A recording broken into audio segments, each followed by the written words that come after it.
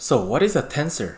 You probably have learned something called stress tensor from fluid dynamics and field tensor from electrodynamics. Sounds like it has something to do with dynamics. Let me explain the mathematical meanings of a tensor for physics and engineering students. So we have the following mathematical structures. This is a rank 0 tensor. This is rank 1 tensor. And this is rank 2 tensor. This is rank 3 tensor. You see how the number of indices increases with the ranked numbers? So going back, this is just a number, right?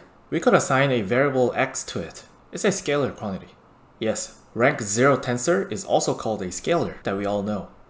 This is an array of numbers, so we now need an index mu to indicate which element we are talking about. And this was rank 1 tensor. Rank 1 tensor is also called a vector. Here we have a row and a column. So we need two indices mu and nu to describe all the elements. And this was a rank 2 tensor.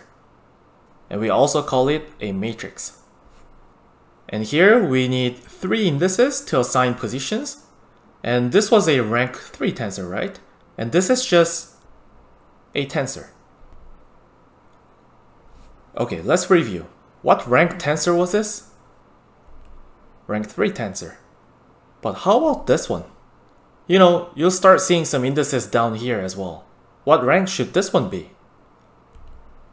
It's still rank 3, because there are 3 indices. Now I'll tell you a more formal way. Numbering the ranks like this is, I would say, the undergrad level. The graduate level is this. So we separate the top and the bottom indices. So the first one is rank 3, comma 0, because there are 3 indices on top, and the second one is rank 1, comma 2, because one index on top and two indices on the bottom. Nothing hard or confusing, right? For example, example 1, what rank should this be? It's a rank 3, comma 2 tensor, obviously. Example 2, how about this one? No indices on top, so this is just rank 0, comma 4 tensor. All good? So, what rank is this? Rank 20 tensor, right? Because there are two indices on top. Whether it's the top index or the bottom index, the first index is usually the row index. And the second index is usually the column index. And normally people start the index number from 0. Alright, let me quickly test you. Which element is this? x1, 0, so row is 1 and column is 0. 1 and 0. It's 2. How about x2, 2? Row with 2 and column with 2, so 2, 2 is negative 1. And how about x0, 2? Row is 0 and column is 2, so 0, 2, it's 7. All good?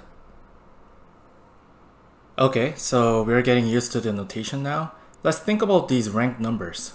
What would these ranked numbers correspond to? Some people guess those numbers represent the numbers of dimensions. So rank 0 tensor is about 0 dimensional world, rank 1 tensor is about 1 dimensional world, rank 2 is about 2D world, and rank 3 is about 3D world. But is that true? Do tensor ranks represent the numbers of dimensions? No, that thought is wrong. I mean, think about this vector. Normally these are x component, y component, and z component, right? We use vectors in 3D. So because the rank is 1, we are saying that it's 1D is wrong. Rank 1 clearly doesn't mean 1 dimension. So it seems the rank number has nothing much to do with the world dimensions. Then if the rank is increasing, what is really increasing?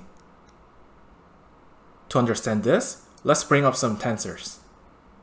One nice example of tensors is a stress tensor from fluid dynamics. Let's look at this box. You know, perpendicular force over area is pressure, right? Then what is the pressure given on this box? 120 newtons divided by 15 meters squared, so 8 pascals. It's just high school stuff. But what if the force was not perpendicularly applied to the surface? We'll have to only consider the normal component of the force, right? So 120 newtons times cosine of 30 degrees divided by 15 meters squared which should be 4 square of 3 pascals. So this much of pressure was given on the top surface. But is that it in real life? Would this box feel being pushed downward only? How about the parallel force component? Does it not affect the box at all? Of course it does.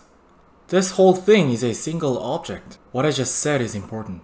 It's a single object. So in reality, the box as a whole will also feel being pushed to the right. The force wasn't just applied to the top surface, but it was actually applied to the object. And depending on the stretchiness of the material, the object could bend a little or a lot to the right. As we now all agree that the parallel force component should somehow affect the box as well, we could think of that as a kind of side pressure. Let's calculate it. So the parallel component of the force divided by the surface that was applied to is 4 pascals. This side pressure is also called stress. So as you can see, I have the xyz axis that I defined for this example. So according to that, P is the z component of the force divided by the area with its normal in the z direction. So sigma zz. And this one is the y component of the force divided by the same area with its normal in the z direction, right? Sigma yz. So, I put the stress elements here. We can have a matrix that consists of stress elements, like this. And the first index mu could correspond to the force direction, and the second index nu could correspond to the area's normal direction. If you think about it, there could be 9 different combinations. If I plug in those numbers, it should look like this. Make sense? So sigma xx, yy, and zz are the pressures, which are also called normal stresses, and the rest are just called stresses, or shear stresses. So it just means non-diagonal pressure elements. You could think of this as our parents who are right above us giving us a pressure, but at the same time, side issues like school or workplace give us stresses.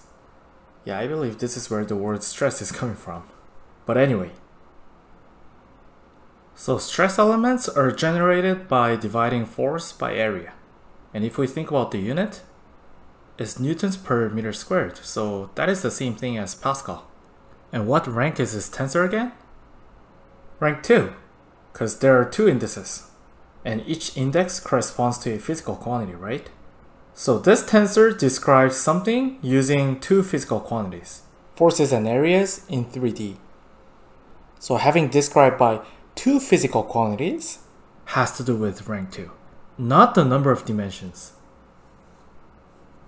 Let me bring another example. Energy stress tensor. Here is the 4x4 energy stress tensor. You'll learn this in GR. First of all, what rank is this tensor? 2. And how many dimensions are shown? 4. So now we have added the time component as well because time is regarded as another spatial dimension if it's multiplied by the speed of light, c. So it could be the fourth dimension. And as we have the additional dimension, we need to multiply the row and the column by the extra dimension as well. So the row now corresponds to different components of energy, not force, and the column now corresponds to the volumes instead of the areas. But if you think about it, energy divided by the volume will still have the units of stress or pressure. So that's why it's called the energy stress tensor. It's a stress tensor expressed in terms of energy, okay? So this is a rank 02 tensor and it describes stress with two physical quantities in 4D. As I said, the rank number doesn't have to do with the number of dimensions. By the way, if you think in this way, the previous stress tensor should have perhaps been called force stress tensor or something. It would make more sense, no? Anyway, so this was the energy stress tensor. And some of you may be wondering, energy is a scalar quantity. How can we even assign a direction to energy in the first place? Like, this row doesn't quite make sense. Let's divide both the row and the column by 4 velocity vector, which should give directions. So it's like a particle with some energy traveling at some speed. Because we divided both the row and the column, the velocities will be cancelled anyway, so it's all good. But now, look at this numerator. Energy over velocity is kilogram meter squared per second squared times second over meter. which should give kilograms times meters per second. And what is this? Momentum. It's the same tensor, but it's just in terms of momentum now. The energy stress tensor is also called momentum stress tensor. Then should we not use the name energy stress tensor anymore? And just use the name momentum stress tensor? No, we can still call it the energy stress tensor, even if energy isn't a vector quantity. Why is that? From special relativity, if time component is treated as another dimension when multiplied by the speed of light, time is just another type of direction. So in 4D, at least in terms of time, energy can also be a vector quantity. So usually the first row of the tensor, which is the time component of the energy, if we say the row direction component corresponds to the energy, can still be expressed in terms of energy. Because we do say energy has direction in time. And the rest three rows are expressed in terms of momentum. But this tensor is still about the pressure. All the elements have the unit of Pascal. Now, back to these ones. Now you can see that these are just all 3D tensors. So, if the rank is increasing, what's really increasing? Not the number of dimensions, but the number of physical quantities that you're using to describe the tensor. To be more precise, the number of directional contributions by the physical quantities is increasing. So in here, we have force and area, so two directional contributions. As a final, I could perhaps show some examples so we can review what we just learned. What is this tensor?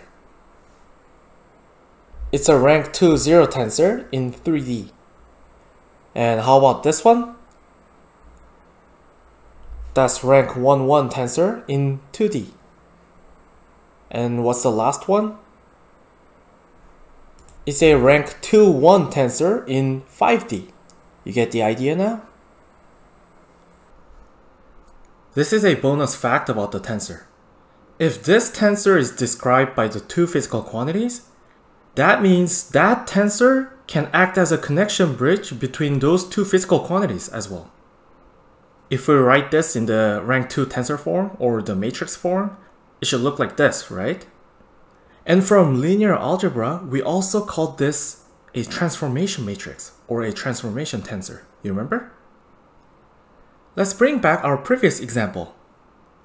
So if we use this tensor as a transformation matrix, force is pressure times area, right?